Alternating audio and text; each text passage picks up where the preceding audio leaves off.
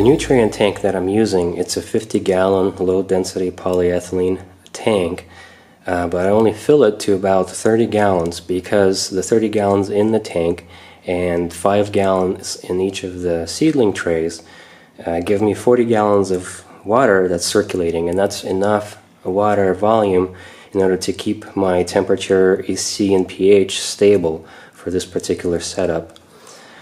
Um, now, as far as the tank, you know, for the lid is just basically a piece of plastic that I have a little handle and a hook on, so you can easily um, raise the lid and keep it open while you're doing your thing, like cleaning it, dumping it, adjusting things, or whatever. Um, and um, so the drain pipe from the NFT trays goes here, and it has a little nylon mesh bag over it to keep the large particle particulates out, you know, like old roots and leaves and things like that. And the same deal with the seedling tray. It has a little bag over it.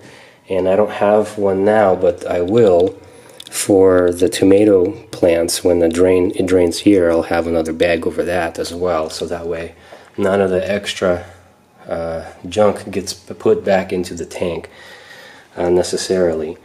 I have a little float valve over here that keeps the, the proper height of the water and it automatically fills as it, as it goes down.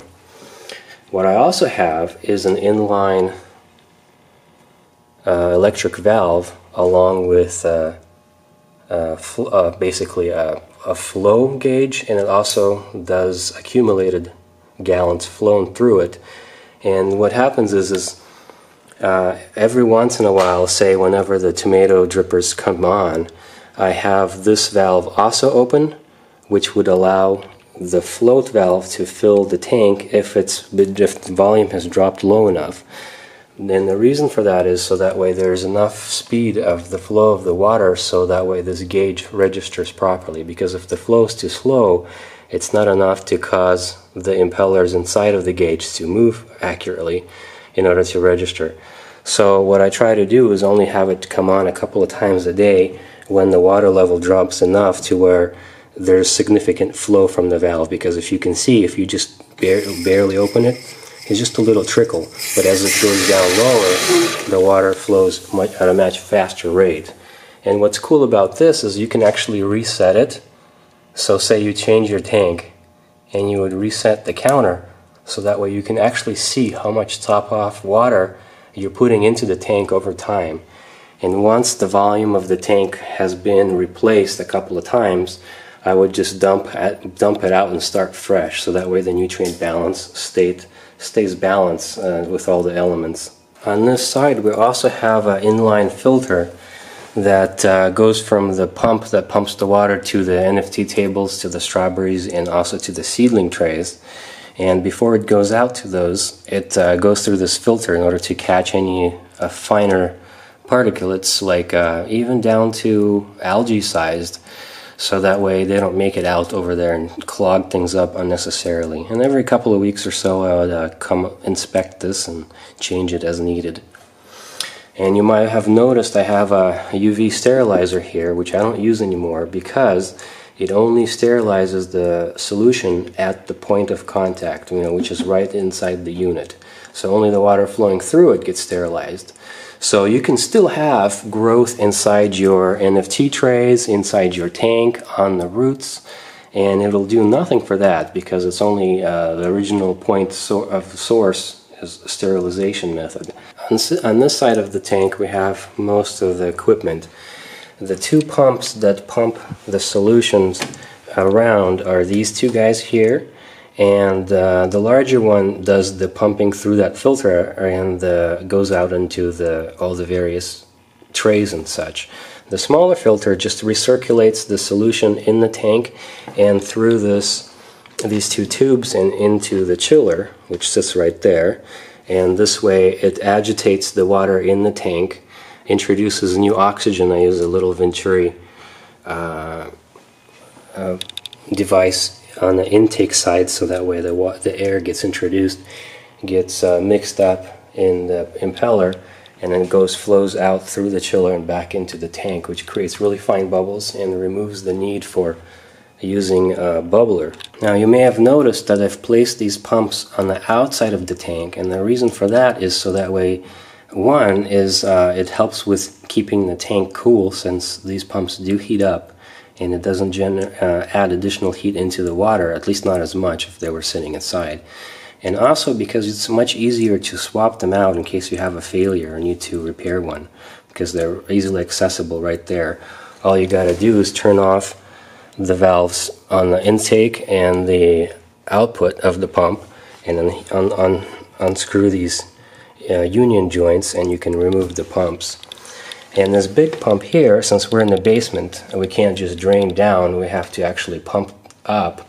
Uh, and this pump basically pumps whenever I uh, want to drain the tank, I turn this pump on and it pumps the tank out and then there's a little check valve to prevent the flow coming back into the tank. Now along with the, the actual refrigeration type chiller, I also have, and uh, this is what I used to use originally, and this is just sitting here still as a backup to the, uh, the refrigeration style chiller.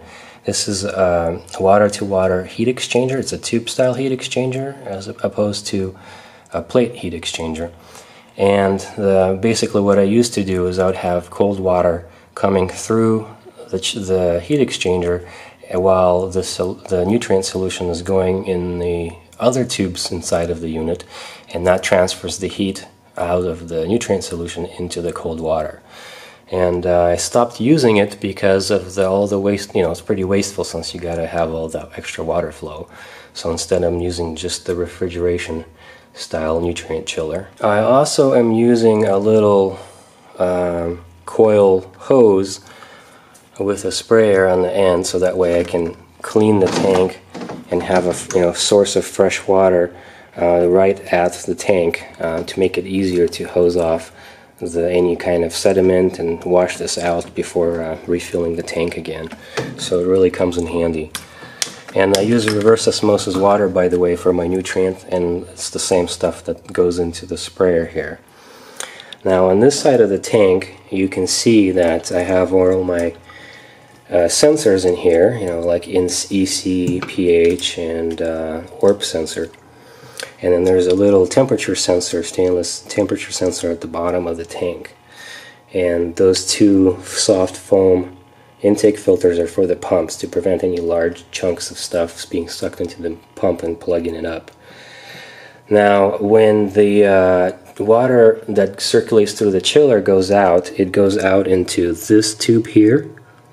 And with this tube, as you can see on the very bottom, I have a 90 degree elbow and another T on this side and what that does is it creates a bit of a mixing action of the tank and agitates the tank um, to mix the solution up well when the, the dosers inject the nutrient concentrates which, which happens through these little tubes. Alright so this is the board for all the gizmos.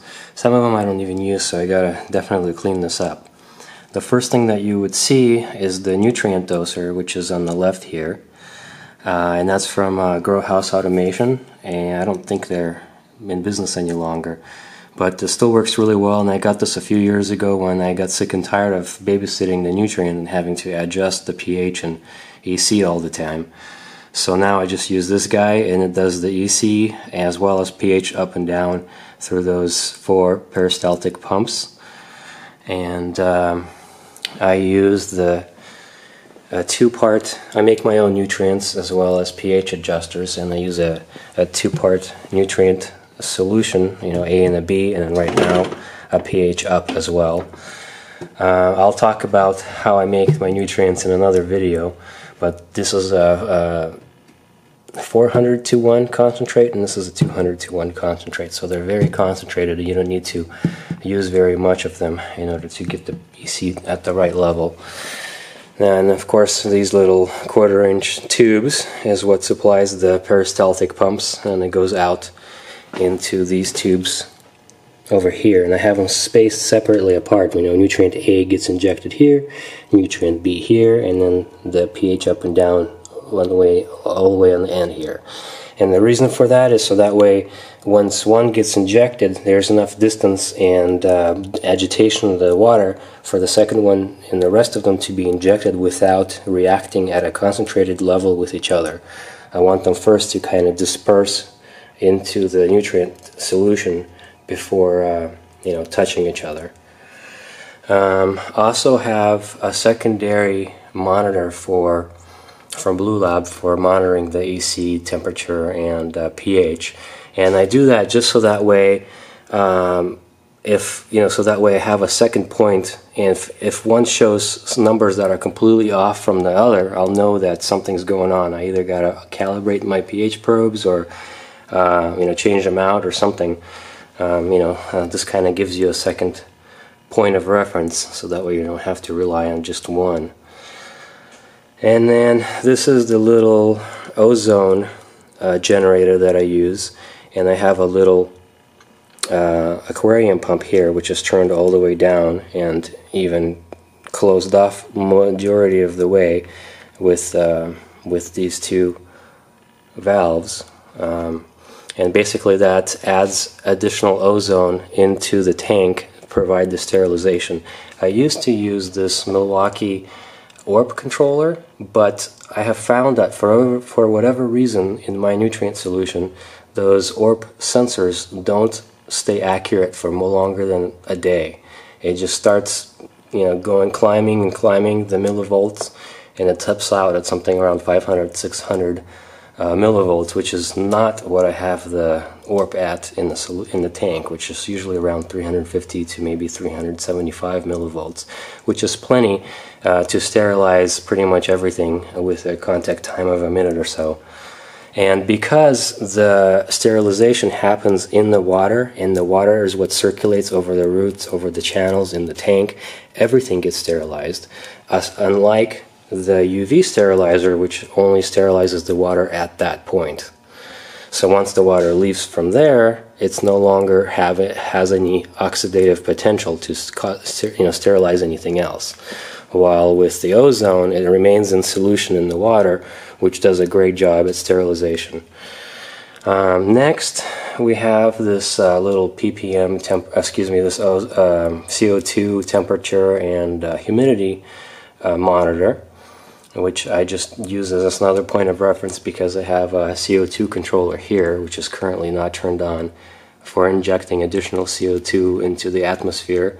The level you see here right now, that's just from me breathing in this room. Um, and I usually keep the CO2 at around 1000 ppm, uh, which is more than enough um, for what I'm doing here. Then I guess I also have this temperature controller here, and that's connected to this stainless steel temperature sensor on the bottom of the tank.